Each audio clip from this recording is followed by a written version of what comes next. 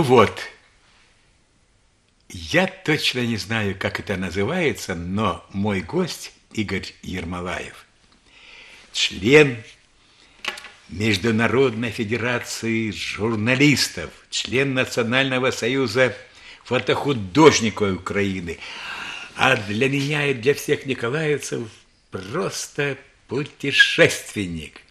Спасибо. Он приехал недавно из Индии, пришел на передачу, мы так и поговорили, поговорили, но он успел столько наснимать там всяких интересных кадров, и столько у нее еще осталось историй в загашнике, что сегодня мы решили продолжить этот разговор. Что это такое? Здравствуйте, спасибо за доброе представление. Ну, а это, как ни странно, самое опасное живое существо в Индии. Все думают, ну, кобра, скорпион, тигр. А на самом деле вот этот вот моллюск называется конус – Э, водится в Индийском океане. Угу. И если на него нечаянно наступить, у него вот здесь вот выходит такой шип. И он практически, да, бьет шипом, противоядия не существует. Если... То есть все, да? Да, да, практически. Так все. называемый летальный исход, да? Да, да. да. Поэтому, э, если заходишь в воду, надо обязательно вот так идешь ногами, вот так вот как-то вот.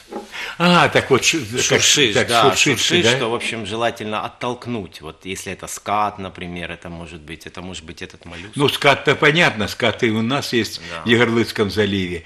А вот это, оно что, у берега не на глубине может находиться? Бывает где угодно. И его, по крайней мере, ты оттолкнешь ногой и уже не наступишь. И вот неспроста у этого существа предупредительная окраска вот такая яркая. Это всегда вот все ядовитые существа в океане, и раковины, и рыбы, медузы, они носят вот такую яркую, так называемую предупреждающую окраску. Но, То наверное, есть... уже сейчас окраска его изменилась, потому да, что немножко она, поблекла. Я думаю, что сильно изменилась, потому да. что не, не совсем он такой яркий и пугающий, он так в таких хороших палевых ну, цветах, сигнал, он даже сейчас да. на него приятно смотреть. Приятно и безопасно. Но сигнал вот всегда для человека, где бы ты ни был, неважно, это Красное море, Персидский залив, Южно-Китайское море, если яркое что-то, не трогай. Любуйся, но не трогай. Игорь, сколько прошло времени после первого посещения Индии? Что изменилось вот по пунктам, кратко, по, что изменилось за это время? Ну, прошло ровно 20 лет. Это в 90, 1996 году моя первая экспедиция была. Угу. Вот, получается, ровно 20 лет. И, кстати, вот раз ушел об этом разговор, я уже могу анонсировать свою третью экспедицию, э, которую, ну, возможно, будет уже этой осенью, возможно, следующим годом.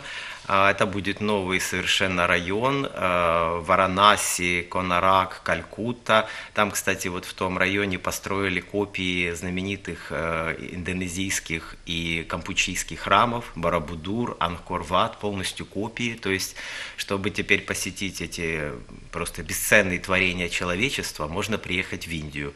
И если будут люди интересоваться, приветствуется спонсорство, приветствует партнерство. Если что, связывайтесь со мной, пожалуйста, и мы осуществим такой вот большой проект. Так что получается, э, что в двух экспедициях Индии недостаточно вам оказалось, О, да? Индия – это отдельная не просто страна, mm-hmm. даже не просто отдельный континент, это отдельная планета.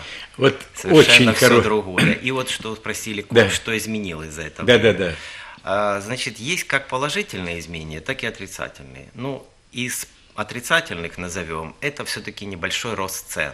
Ну, даже, можно сказать, в чем-то значительный рост цен. Уже тогда, э, ну, если была бедность еще, а за доллар можно было много купить, то сейчас за доллар можно образно купить немного.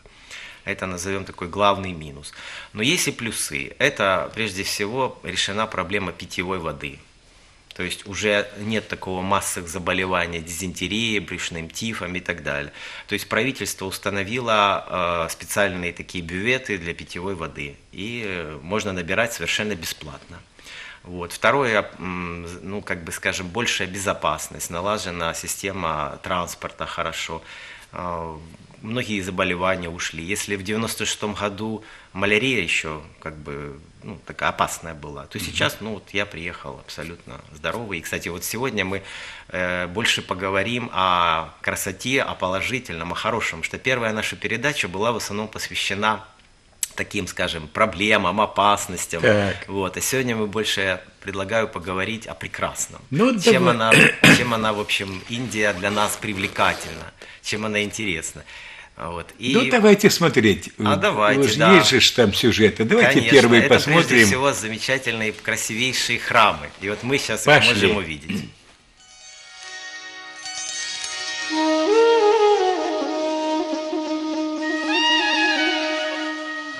используется вот в скульптурах, в подношениях богам. Вот знаменитый лотос розовый. Это, кстати, мы видим э, парк Ладанг, угу. Ботанический, один из самых известных в Индии. Находится в Бангалоре. Достаточно символическая стоимость за вход. Вечерние кварталы Вот, вот эти как раз изготавливают из цветов подношения богам. Есть и маленькие храмы, где вот просто человек может зайти, как вот у нас купить мороженое, а здесь он подошел и получил благословение Брахмана и пошел дальше. Угу. Вот прямо на улицах Брахманы, их можно отличить по белой ниточке на левом плече. Ну, минус этого, что потом все это подношение сбрасывается в священный колодец. Ну и сами понимаете, какой там запах и какая там инфекция. А где-то на севере Индии они вообще и людей хоронят таким образом где-то. Да, в Варанаси сожжение людей на берегу священной реки Ганг. А еще просто сбрасывают в такой же похожий какой-то специальный колодец, и просто орлы и другие птицы растаскивают все это. Дело. Э, да, в горах. но это уже э, в Гималаях. Гималай, это вот больше гора, уже да. тибетская традиция. Вот, утоляют жажду, пожалуйста, кокосовый орех разрезали, водичку выпили, такую сладенькую. Ну, кокосовые орехи там просто так не валяются, нет? А, ради интереса я попробовал потрясти пальму. Нет, они очень прочно держатся. Так. Их, чтобы снять, это нужно их вот так вот крутить крутить или подрезать, или крутить. Самое интересное, вот там э, обезьяны даже иногда есть ручные, которых посылают наверх, и обезьяна ловкими круговыми движениями скручивает этот орех. Угу. Ну, в общем, навыков. А вот какая кошка. Да, это Необычная. чисто индийская кошка, да. Вот это самое, конечно, прекрасное, ради чего ехать в Индию стоит, это и храмы. Представляете, каждая вот эта скульптура вытесана из камня вручную, а потом раскрашена. Угу. Вот это вот настоящая позолота. Внутри снимать категорически запрещено, скажу честно, допустит меня индийцы, брахманы и правительство, ну, я же это в добрых целях. Вот я подумал, смотрите, это же тысячелетие уже этим храмам. Да, это старый все. Старый. Вот, и все-таки индейцы где-то за эти тысячелетия обошлись без жесточайших войн. войн. Их это все обминуло. Да, и именно поэтому и сохранились. И поэтому сохранились. Храмы, вот сравнить с Европой, что, что в последней войне разрушено, и что здесь осталось. Да. Все осталось. Единственный здесь. момент. Э, По-настоящему да. там они только воевали, когда э, при, при, пришел Македонский. Ну и то на границе и была на границе, стычка да. такая не особо подтвержденная историей. Вот это, кстати, храм Кали, богини смерти, ведь тут страшные такие вещи, тут резанные руки, головы и так далее. Вот я про храмы, единственное, что у них они иногда зарастают травой, э, пальмами, кустами. И вот как раз Хампи, о которой мы в прошлый раз говорили, это в самом центре Индии. Э, недавно его просто вот расчистили от лесов от кустарника, mm-hmm. и, получается, обнажилось такой целый комплекс храмов, которые просто были заброшены. Сейчас это одна из самых любимых То есть у них посещений. уже появились деньги на то, чтобы, как в Южной Америке, расчищать старые, да. старые храмы, старые святилища, да? Да, да, естественно, там установлен платный вход, и, к сожалению, вот только для иностранцев он гораздо больше, раз в 10-15, чем для местных жителей. Это, конечно, такая несколько дискриминационная норма, потому что, сами понимаете, японец, иностранец, да, с их огромной зарплатой, и украинец, это разные вещи. Да, но ты Э, всегда, когда ты ездишь, а в Индии особенно, ты почувствовал, что тебе в Индии надо жить в палатке, слава богу, что там нет холодного климата, вот, и что ты недостаточно у тебя толстый Средств. кошелек, да. Э, разумеется, это чувствуется во всех странах практически, но я научился обходить эти способы. Э, я, знаете, как туризм, это не есть бомжизм. Э, умный, думающий путешественник, угу. он всегда найдет способ, где и помыться, привести себя в порядок, одежду и так далее. Я договаривался по интернету с индийцами. У меня получается часть ночлегов, где я мог постираться, помыться, зарядить аккумуляторы. Это было по системе каучсерфинг. Угу. Вот, как я уже говорил, достаточно ну, добрые такие открытые, радушные люди. А часть, естественно, это палатки были, потому что в диких местах нету ни отелей, ни каучсерферов. Ну, понимаете как, я еду за духовным, а не за материальным прежде всего. Mm-hmm. И ради того, чтобы увидеть красивейший заброшенный храм, какой-то водопад, каньон, э, гору, гору Гималаев, то тут согласен терпеть любые лишения, можно с палатки без проблем. А сколько километров по Индии ты преодолел? Ну, получается, это 4 тысячи. 4 тысячи? Да, да. Месяц? Да, и вот та экспедиция, которую вот я планирую в будущем, я думаю, это будет третья, где-то около 2000 километров, но, естественно, это будет уже по согласованию с группой, которая у меня будет. Кстати, группа, она не должна быть очень большой, для удобства. Это, кстати, опять же, скрытой съемки, сделано в храме Ганеша. Потому Это что не разрешают, да? Не разрешают категорически. Хотя я снимаю всегда без вспышки. Я понимаю, уважаю чувства верующих, никому не мешаю. Тем не менее, это вот церемония посвящения богу Ганешу. Это главный храм Ганеша. Находится он в Пудучере яркие краски такие в храме, да. ничего такого аскетичного. Очень Все очень и люди, которые сидят в этом храме, или стоят, или находятся просто, у них же такие же краски, да. как и э, да. на стенах. А вот это, кстати, очень интересное место. Это ашрам Шри Аурабинда, самый известный ашрам Индии.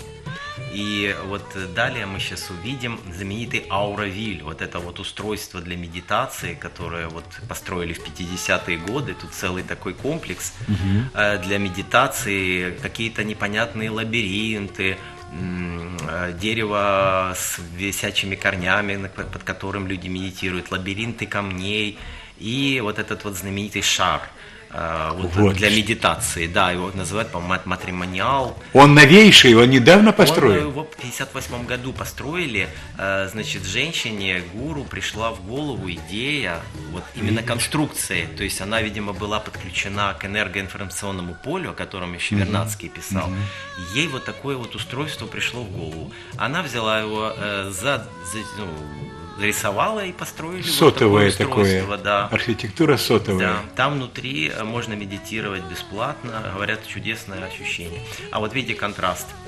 Замечательный да, храм вот это, и грязная да, речка внизу. Да, да, да, да. Вот как вот это у них, вот видите, как это сочетается, это ну просто ну, невероятно. Ну, у тебя на снимке это получается живописно, между Живописно, прочим. да. А видно там запах будь здоров какой. -то. Ой, запах будь здоров. Причем, знаете, люди тоже одеваются достаточно аккуратно. У них культура есть американская, вот это мыться по утрам. У нас больше вечером, у них утром. Ага. Они одевают чистые, выглаженные рубашки. Женщины красивые, чистые сари. И тут же эта женщина взяла, съела то мороженое и бросила на мостовую остатки там.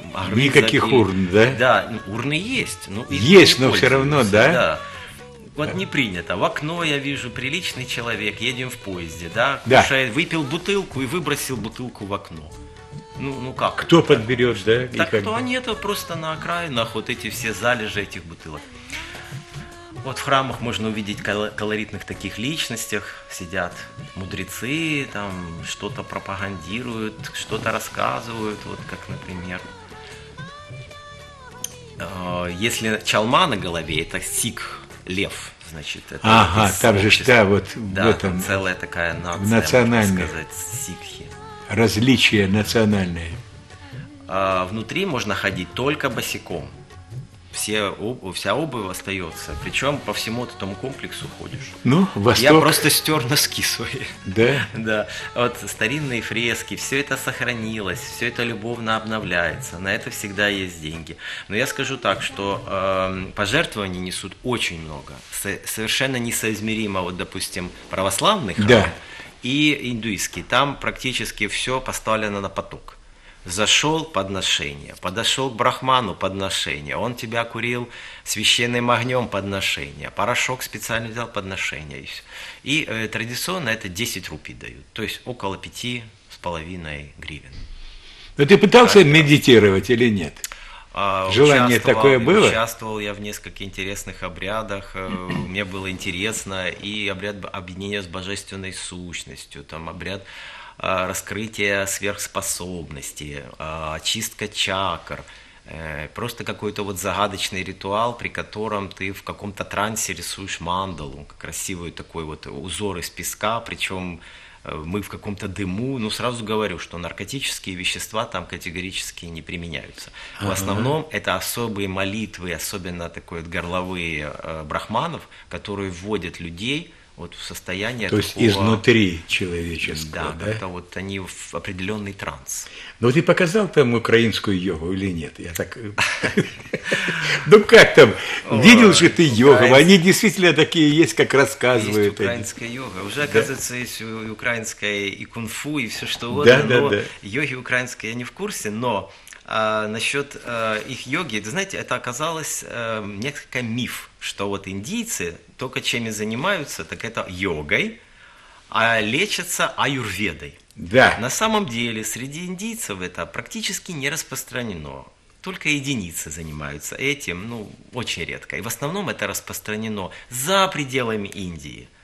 Понимаете? А сами индийцы? Да, а здесь, в Индии в самой, они это сделали для туристов. То есть вот э, есть несколько центров аюрведы, причем они очень экзотические. Например, вот ты ложишься, тебя мало того, что обтирают маслом, тебе еще на голову льют это масло. Угу. Вот так вот, как ты задираешь голову, и вот тебе на лоб обтекают все эти волосы. Угу. То есть я не представляю, как потом можно отмыться от этого всего, но говорят, это чрезвычайно полезно. А ты читал Блаватскую что-нибудь и знаешь, э, что это за человек? Да, конечно, знаю. Ну вот она вот говорила, и так вот она писала достоверно вроде бы, что люди продвигаются по воздуху где-то, вот такая тропинка между в ущелье, там где-то вот скала такая маленькая, там два человека не пройдет. И вдруг mm-hmm. этот какой-то брахман или кто-то вот раз обходит по воздуху человека и пошел дальше. Что это такое? А, это... Я понимаю, что это такое. Я в так, был в таких местах, э, но это, понимаете, это не скорее не Индия, это Гималай. Тибет. Это уже другая да, культура вот, немножко, вот, да, да? это в Непале такое можно вот mm столкнуться. Это в верхних монастырях. Я был в таких вот загадочных местах, где места и хочется летать, и места, где ты можешь увидеть руку снежного человека и совершенно загадочное такое вот э, явление, как верхние монастыри, это между двух речек такая гора, на которых вот натыканы эти монастыри, это просто, ну, скажем так, только можно в фантастических фильмах увидеть, где компьютером такое создается. Это есть. А в Индии это меньше распространено, вот скажем так, они в основном брахманы, это служители культа, они не показывают каких-то, назовем их так, трюков, фокусов, это больше свойственно Э, может быть, ну, вот в районе Тибета. Там можно, вот Китай, вот э, китайская часть Тибета, непальская. Вот. Здесь они просто служители культа. Причем это все очень красиво. Вот у нас есть, мы потом посмотрим видеосюжет. Э, это все ну, настолько э, торжественно. Там э, возятся специальные колесницы с богами. Причем угу. они ярко освещены. А вы спросите, а как же они могут их вести? когда они ярко освещены. Оказывается, едет колесница, а сзади за ней прицепом ездит динамо-машина. Ее так вот несут, или она едет на тележке. Да. И она тук-тук-тук-тук-тук-тук стучит и вырабатывает электричество. И эта огромная конструкция подсвечивается. Представляете, как бы вроде а писта, а красиво. Слоны их специально наряжают, там полдня красят того слона. Ну давай это дело смотреть, так ты же видео принес, посмотрим. давай посмотрим. Вперед. вот это ворота Индии. Первый, вот кто приезжал в Индию, раньше же самолетов не было, на кораблях встречали эти ворота. А, в Арангабаде есть свой Тадж-Махал, практически копия, как в Агре. Ага. Вот так вот приблизительно выглядит центр любого индийского города. Это огромный базар, множество машин, множество людей. Вот самая процедура как раз вот церемония. Ну, благовония все время, наверное, слышны запахи, да? Да, конечно, конечно. Брахман освещает. Вот это в Мой центре путь города конкретно. вот такой слон, да? Да, в центре города вот ходит Не боя, что а вдруг у него что-то проявится, там какие-то свои там расстройства Да, ну психические. вы понимаете как, у них культура э, отношения к животным, они как братья, вот знаете, вы одной крови, ты и я. Вот Такого вот случая, когда слон нападал на людей, ну вот при таких церемониях не было. Тем более, что слон это воплощение бога Ганыша. Его любят, слон это чувствует. Я вот сам лично подходил к слону, и хобот обнимал, и ногу ему обнимал, и слон меня гладил хоботом. Они чувствуют эту любовь. Они хорошо кормят. Почему ему волноваться, на кого-то нападать? Вот культура уличной еды, очень необычно делают ее. А, а вот интересная вещь, которая Вот я увидел, удивила. пр- перебью тебя, я увидел мальчика в костюме и в галстуке, а вон еще один. Да. Это редко бывает или нет? Редко. И меня это удивило. Вы знаете, оказывается, большая часть индийцев католики. И Вот это как. происходит свадьба не по индуистскому, а по католическому обычаю, в католическом храме. Представляете? Вот это тоже, кстати, отличие от 96 года. Раньше такого не было, Раньше, да, редко. А вот сейчас я увидел да, практически в каждом городе э, католический храм, и, и весьма немаленький. Вот. Конечно, там свои есть нюансы, своя экзотика. Ну вот, пожалуйста, Богоматерь с Христом. Причем у Богоматери какие-то чуть-чуть индийские черты лица. Ага.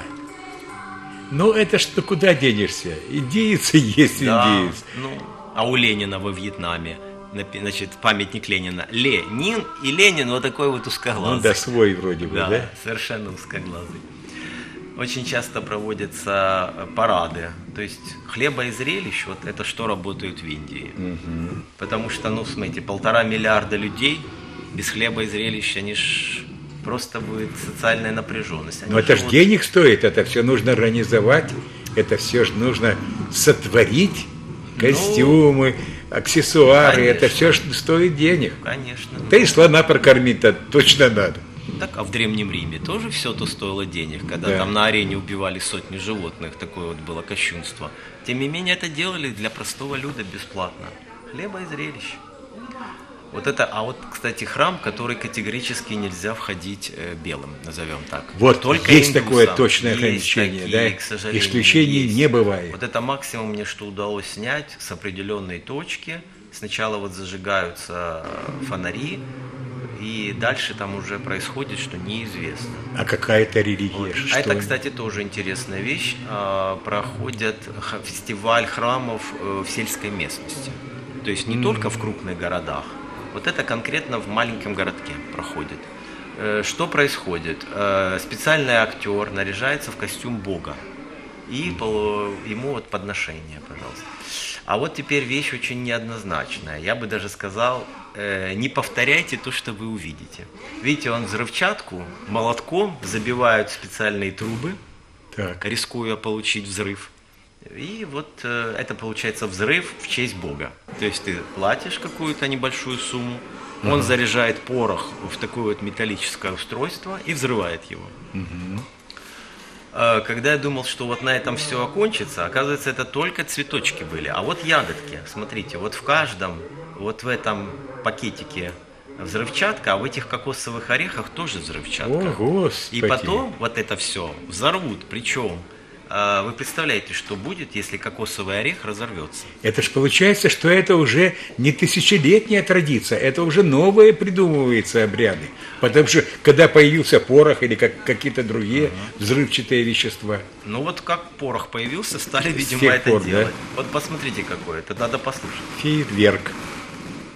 Я думал, что это не все. А в смысле, все, откройте дальше, что будет.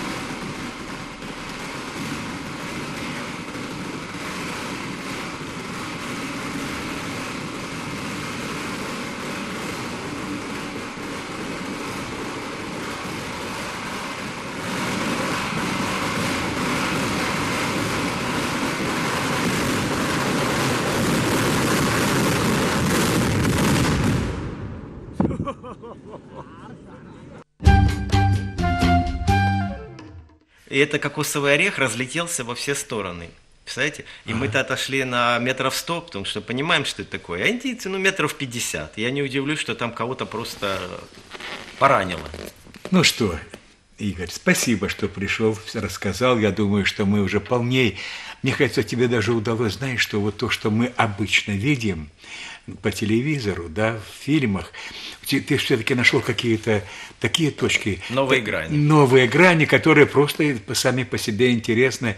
Будем ждать твоих путешествий и будем показывать а и рассказывать, как ты это делаешь. А Спасибо я буду ждать тебе. акционных билетов, потому что от этого все зависит. Все. До свидания. Всего доброго. thank you